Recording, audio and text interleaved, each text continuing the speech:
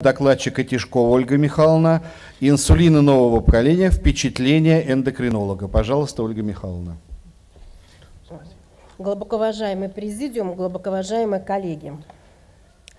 А, сахарный диабет относится к заболеванию со сложностями достижения цели. И одним из сдерживающим фактором является риск развития тяжелой гипогликемии – в зависимости от наличия тяжелых сосудистых осложнений и риска развития гипогликемии уже выставляется для каждого пациента индивидуальная цель лечения. И она в первую очередь зависит от возраста. Чем моложе пациент, чем жестче цели. Для более пожилых э, пациентов, соответственно, более мягкая цель по уровню гликированного гемоглобина.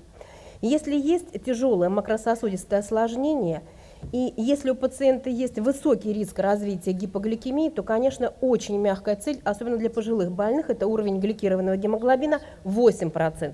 Для молодых пациентов, не имеющих тяжелого риска развития макрососудистых осложнений и не имеющих тяжелых гипогликемических эпизодов в анамнезе, соответственно, самая э, жесткая цель – это уровень гликированного гемоглобина меньше 6,5. Конечно, в среднем большинства, для большинства пациентов средний уровень гликированного гемоглобина – это 7%. Но более строгий контроль снижения гликогемоглобина менее 7% связан с минимальным риском развития гипогликемических эпизодов. И чем выше уровень гликированного гемоглобина, тем, соответственно, выше риск и тяжелой гипогликемии. В настоящее время у нас в арсенале имеется из группы инсулинов 8 различных по профилю действия э, инсулинов. Это инсулины ультракороткого действия, аналоги, это инсулины короткого действия, инсулины средней продолжительности действия, которыми мы, в общем-то, активно э, компенсируем больных сахарным диабетом, кому это необходимо. Это инсулины, аналоги инсулина длительного действия, и э, на сегодняшний день появились у нас сверхдлительного действия аналоги инсулина а также миксная форма инсулина, это комбинация инсулина средней продолжительности действия э, вместе с инсулином короткого действия, а также, также инсулина ультракороткого действия с э, протеинизированной формой инсулина ультракороткого действия. И, соответственно, появился у нас тоже новый аналог инсулина сверхдлительного действия в комбинации с инсулином ультракороткого действия в соотношении 70 на 30. Конечно, новые инновационные инсулины имеют свои преимущества. Это в первую очередь длительность действия инсулина. Сверхдлительный аналог э, инсулина действует более чем э, 42 часа. В чем его еще колоссальное преимущество? Отсутствие э, пика гипогликемии, ой, пика э, повышения э, активности инсулина и начало действия инсулина через 30-90 минут. Готовая смесь инсулина, аналога инсулина сверхдлительного действия и аналог инсулина ультракороткого действия тоже имеют а, свои особенности. Профиль действия а, соответствует профилю действия а, компонентов препарата. Это инсулин райзодек. А, в чем особенность этих а, инсулина деглюдек, то есть инсулина сверхдлительного действия?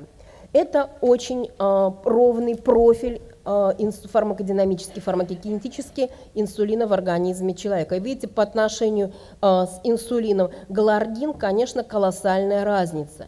То есть у пациента, который будет использовать инсулин деглюдек, независимо от дозы и независимо от времени введения инсулина, сохраняется стабильная концентрация инсулина в течение всех суток. Соответственно, и риски развития гипогликемических эпизодов у такого пациента будут минимальные. И существует метаанализ, который отдельно оценивал э, количество гипогликемических эпизодов у пациентов с сахарным диабетом первого и второго типа, использующих инсулин деглюдек. И оказалось, что общее количество гипогликемических эпизодов уменьшается на 16%, но особенно значимо уменьшалось количество ночных гипогликемий. Это на 32%. Поэтому это действительно, можно сказать, безопасный инсулин.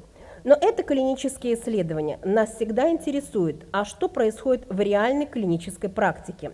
И вот здесь представлены данные мировой клинической практики.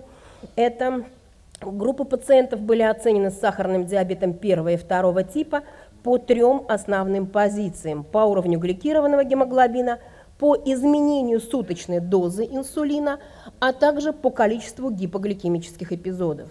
И оказалось, действительно инсулин деглюдек имеет колоссальные преимущества по отношению к инсулину гларгин. В первую очередь, а, это уменьшение количества гипогликемии, или в некоторых исследованиях было показано, что количество гипогликемических эпизодов не меняется. Это уменьшение или неизменение, или в некоторых исследованиях повышение дозы, суточной дозы инсулина деглюдек.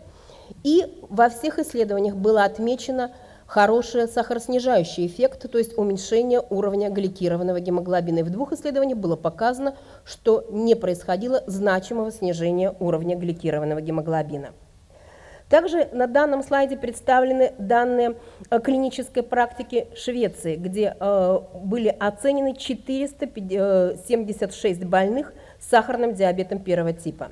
И вот в практическом э, здравоохранении было отмечено уменьшение уровня гликированного гемоглобина у данной когорты больных на 0,4%, уменьшение дозы базального инсулина на 13%, при том, что э, было отмечено улучшение компенсации сахарного диабета, и снижение частоты дневных гипогликемий на 12%, ночных гипогликемий на 53%. И что очень значимо для любого человека, получающего инсулин, это значительное уменьшение числа тяжелых гипогликемических эпизодов. Было показано, на 62% снизился количество гипогликемии. Да, стоимость инсулина высокая, но она оправдана в связи с тем, что улучшается качество жизни пациента. То есть человек живет без гипогликемии. Отдельно были проанализированы эффективность инсулина Резадек. А, были оценены две группы пациентов. Это пациенты, которые впервые инициировали терапию, и группа пациентов, которые были переведены, уже, которые использовали уже двухфазный инсулин. А, инсулин вводился дважды в день, длительность исследования 26 недель. Не было получено значимого а, изменения в уровне гликированного гемоглобина, но происходило уменьшение гликемии плазмы натощак при разных вариантах а, инсулинотерапии, то есть у разных пациентов, у разных подгрупп. И было отмечено, что подтвержденные гипогликемии в подгруппе пациентов, ранее не получающих инсулин, уменьшились на 54%, ночные гипогликемии на 75%.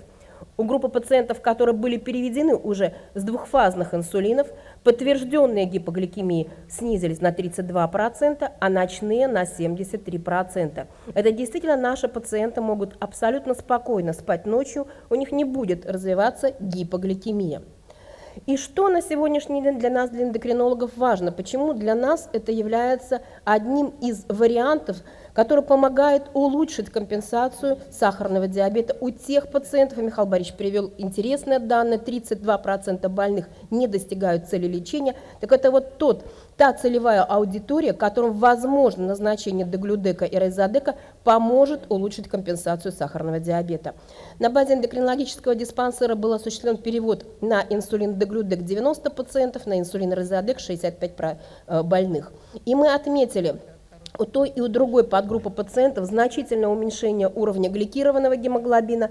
Необходимо отметить, что произошел очень а, простой перевод на данный инсулин, значительно уменьшилось количество гипогликемических эпизодов. Что очень важно, стали более ровные сахара, то есть ушла вот та вариабельность гликемии, которая часто беспокоит наших пациентов. И было отмечено уменьшение дозы инсулина а, по отношению к ранее используемой дозе. Отдельно была проанализирована группа пациентов э, Швейцарии. Это 250 больных. Две трети пациентов заявила о стабильном гликемическом контроле и снижении дозы инсулина. При более детальном изучении досье оказалось, что уровень гликированного гемоглобина снизился на 0,5-1%, но это оказалось очень значимым для э, пациентов. Э, доза базального инсулина уменьшалась как у пациентов с сахарным диабетом первого, так и второго типа на 10%. И при этом количество гипогликемических эпизодов также снижалось у пациентов с сахарным диабетом первого типа на 25%, у больных с сахарным диабетом второго типа на 40%. То есть, если вы видели, то практически на всех слайдах базовым является уменьшение количества гипогликемических эпизодов. Я вам хочу привести данные клинических случаев. Это перевод э, пациентов с э, каких-то вариантов инсулинотерапии на инсулин или райзадек. Первый клинический случай – это пациентка 38 лет с сахарным диабетом первого типа в течение 10 лет. Пациентку часто беспокоили эпизоды гипогликемии в ночные и дневные часы. А, пациентка получала инсулиноспарт в дозе 12 единиц трижды в день, а, употребляла, жестко считала хлебные единицы, употребляла 4 хлебные единицы в основной прием пищи и по одной хлебной единице в перекус. И э, суточная доза инсулина гларген была 32 единицы. Э, необходимо отметить, что в момент уже, когда эта больная пришла к нам, это был 2012 год, э, пациентка в среднем имела уровень гликированного гемоглобина от 7,5 до 8. При этом она получала инсулин Детемир в дозе 14 единиц утром, 12 вечером и аспарт 12 единиц а, трижды в день. А в 2014-2015 а, году, в общем-то, мы попытались ее перевести на глардин, потому что было для больной более удобно. Немножко была увеличена доза ультракороткого инсулина, но при этом мы не получили улучшения показателей гликированного гемоглобина. И в 2015 году у нас появился деглюдек, и мы решили попробовать. А может быть у нас получится улучшить компенсацию сахарного диабета у данной пациентки. При этом мы осуществили перевод при показателях гликемии натощак от 9 до 11 по дневнику самоконтроля, а постпрандиальная гликемия у данной пациентки была от 13 до 14 ммоль на литр. А, мы назначили аспар по 15 единиц трижды в день и а, инициировали терапию деглюдеком в дозе 32, затем мы увеличили дозу до 34 единиц в сутки. Дальше проводилась коррекция, мы увеличивали, дозу уменьшали. И по факту в 2016 году мы достигли целевого уровня гликированного гемоглобина. На дозе инсулина аспарт 12 единиц трижды в день, деглюдек был уменьшен до 29 единиц. И вот ее гликемический профиль, который мы получили с помощью iPro2.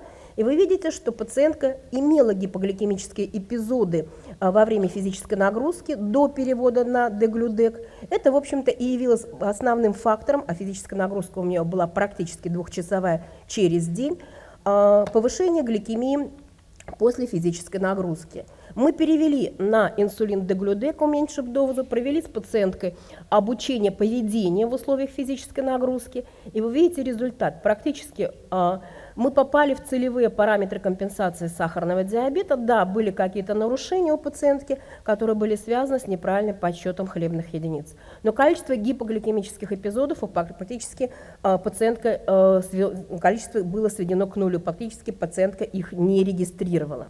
Второй клинический случай – это уже пациентка с избыточной массой тела, это женщина 53 лет, которая э, ведет малоподвижный образ жизни, не всегда соблюдает диету, имеет ожирение, индекс массы тела 36. А, Еще также пациентка курит, и на эту тему с ней проводятся неоднократные беседы. И вот каково этап развития диабета у данной пациентки. Она у нас появилась в 2006 году. А, в условиях декомпенсации сахарного диабета. А, были показатели гликемии 15-16. А, временно была назначена базисболюсная инсулинотерапия для снятия глюкозотоксичности. Далее она была переведена на комбинированную терапию глювенкламид в комбинации с метформином. Далее она у нас пропадает на 3 года, через 3 года появляется с декомпенсацией диабета, уровень гликированного гемоглобина 9,2. Мы интенсифицируем терапию, соответственно, мы назначаем инсулин короткого и продленного действия. А при этом оставили глибенкламид и метформин в связи с тем, что надеялись, что со временем мы сможем снять инсулин короткого действия. Далее э, пациентка опять у нас как-то выпала из поля зрения, появилась она в 2015 году, опять же с признаками декомпенсации сахарного диабета. И в этой клинической ситуации мы уже рекомендовали ей инсулин деглюдек в дозе 40 единиц, аспар 36 суточная доза инсулина и оставили ей метформин. Пациентка абсолютно себя по-другому стала чувствовать. Она, она уменьшила массу тела на 3 килограмма, при этом она вела дневник питания. И в 2016 году э, был достигнут наверное, наилучший результат за весь период терапии данной больной.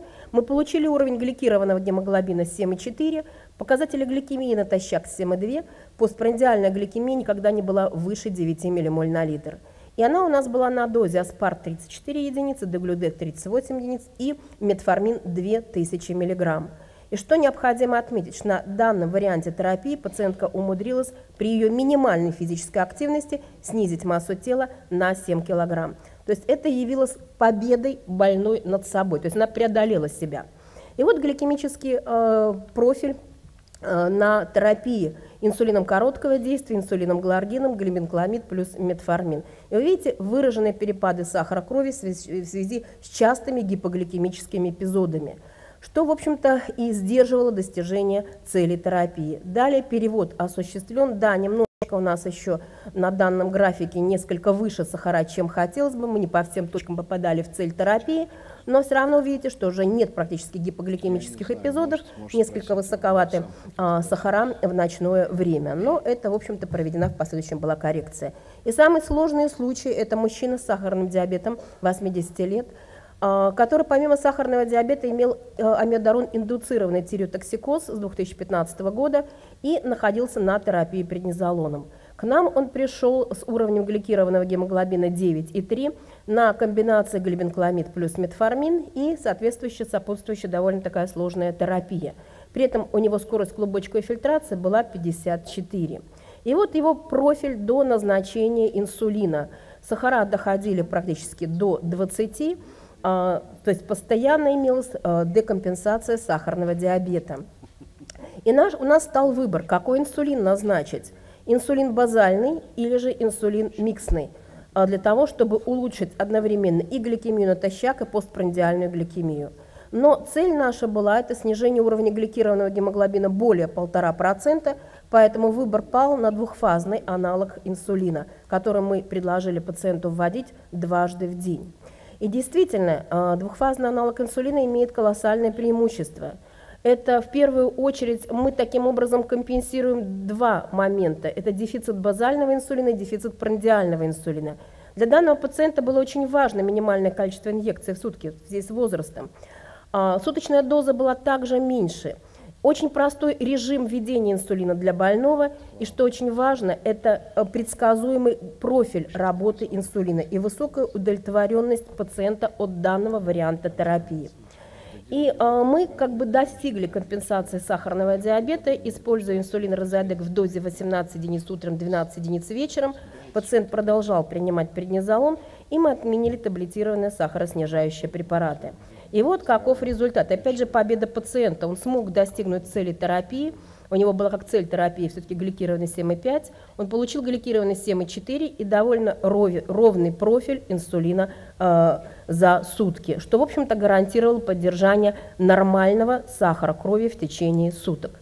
Поэтому для нас, эндокринологов, крайне важно, чтобы с инсулином было очень просто работать, очень просто стартовать и титровать дозу инсулина, просто обучать пациента, чтобы инсулин действительно обладал высокой эффективностью, высокой безопасностью и не требовал введения строго по времени, потому что пациенты иногда забывают в нужное время ввести инсулин. А самое важное, чтобы он обеспечивал хорошее качество жизни нашим пациентам. И успех сахароснижающей терапии зависит от того, насколько мы сможем найти ту схему терапии, которая будет подходить для конкретного пациента. Потому что мы лечим не болезнь, а мы лечим пациента. Спасибо.